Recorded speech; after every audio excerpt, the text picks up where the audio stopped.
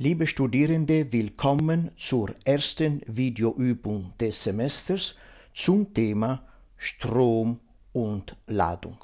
Diese Aufgabe bietet eine erste schöne Möglichkeit an, sich mit den Kirchhoffschen Regel und Ohmschem Gesetz auseinanderzusetzen.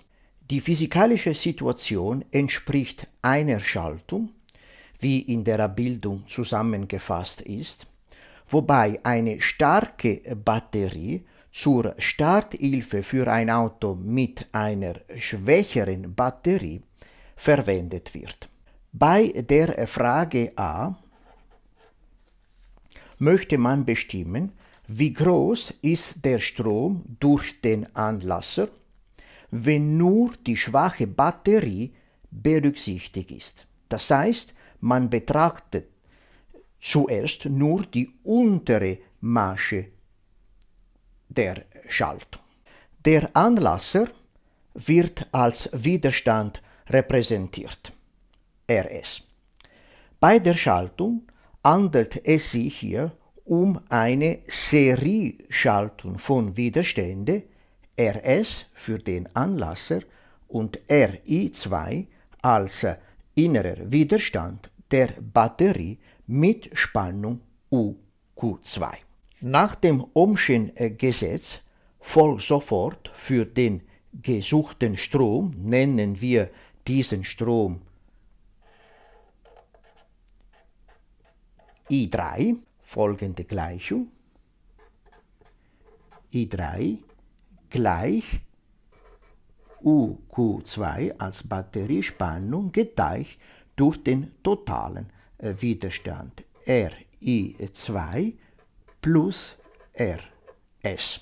Hier verwenden wir die Regel, dass der totale Widerstand einer Serieschaltung gleich der Summe der Widerstände in der Masche ist.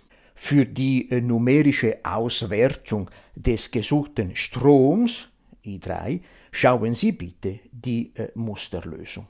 Für die Frage äh, B sind beide Batterien, wie in der Abbildung gezeigt, mit dem Anlasser verbunden. Nochmals müssen wir bestimmen, wie groß ist I3. Hier müssen wir die zusätzliche obere Masche äh, berücksichtigen. Diese besteht aus einer äh, Batterie mit Spannung UQ1 und inneren äh, und innere Widerstand äh, RI1. Auch die Drähte Beide Drähte und Kabel besitzen einen äh, Widerstand RJ und dieser Widerstand RJ lässt sich mit der Formel äh, berechnen. RJ gleich Rho mal L geteilt durch P mal äh, d halbe im Quadrat.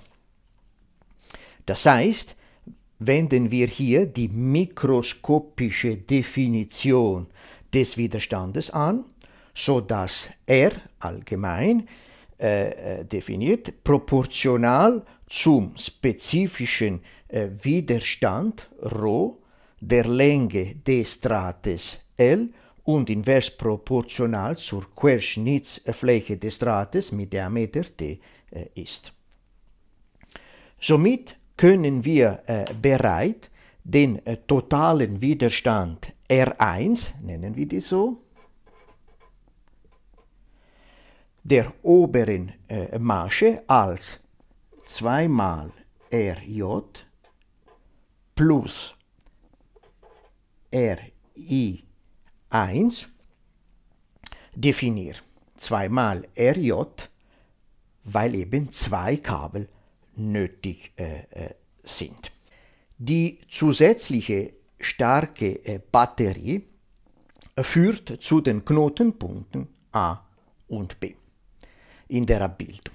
Das heißt, zwei zusätzliche Ströme, nennen wir diese I1 und I2, müssen definiert werden. Wenn wir die Masche zum Beispiel im Uhrzeigersinn anschauen, können wir die Ströme I so äh, zeichnen. I1 hier und zum Beispiel I2 hier. Die Ströme I sind voneinander nicht unabhängig. Es gelten die Kirchhoffschen Regeln. Aus der äh, Knotenregel kann man sofort schreiben, I3 ist gleich I1 plus I2. Nennen wir diese Gleichung 1. Das heißt, bei einem Knotenpunkt, hier B, ist die Summe aller äh, zufließenden Ströme, I1 plus I2, gleich der Summe aller abfließenden Ströme, in diesem Fall äh, I3.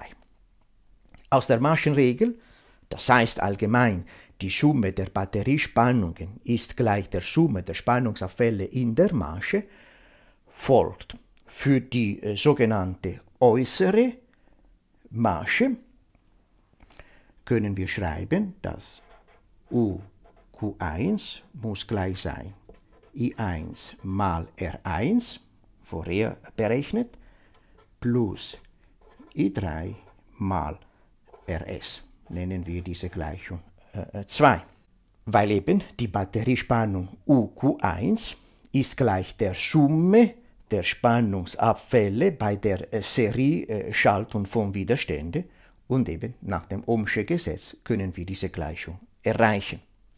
Für die sogenannte untere äh, Masche, genau ähnlich äh, wie oben, können wir dann schreiben, dass die Batteriespannung UQ2 ist gleich der Summe der Spannungsabfälle hier in diese untere Masche, nämlich I2 mal RI2 plus I3 mal RS. Nennen wir diese Gleichung äh, 3.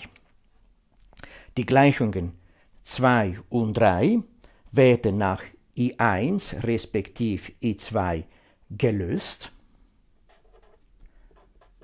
Also I1 ist dann gleich UQ1 minus I3 mal RS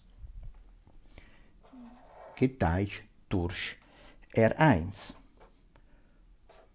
und I2 ist dann äh, gleich UQ2 minus I3 mal RS geteilt durch RI2. Und äh, äh, wir können jetzt diese beide Gleichungen für I1 respektive äh, I2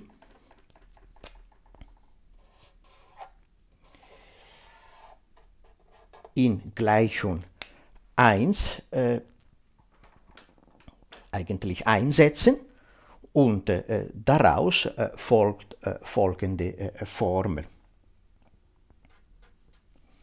I3 ist gleich UQ1 minus I3 RS geteilt durch R1 plus UQ2 minus I3 RS geteilt durch RI2.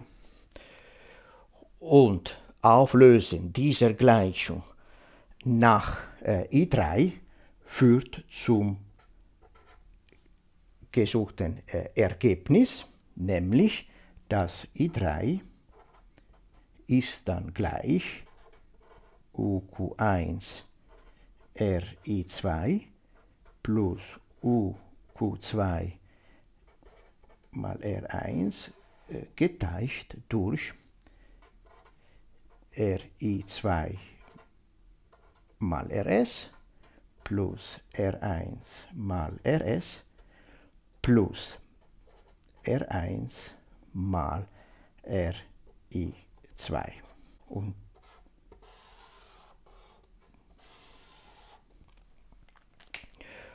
Und nochmals, die numerische Auswertung überlasse ich Ihnen mit Hilfe der äh, Musterlösung.